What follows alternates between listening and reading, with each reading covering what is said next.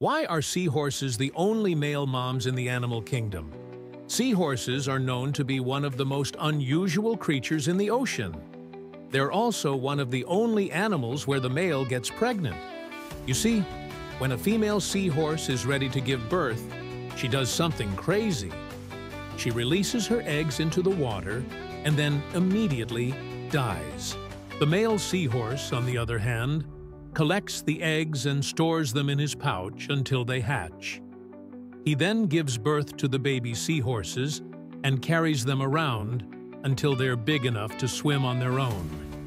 But why do seahorses do this? Well, it's all about survival.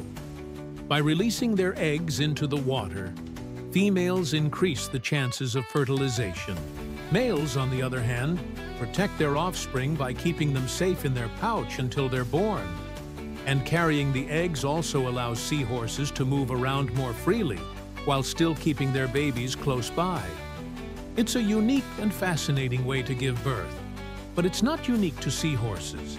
In fact, there are other animals that do the same thing, like pipefish and sea dragons. But these are the only animals that we know of that do this.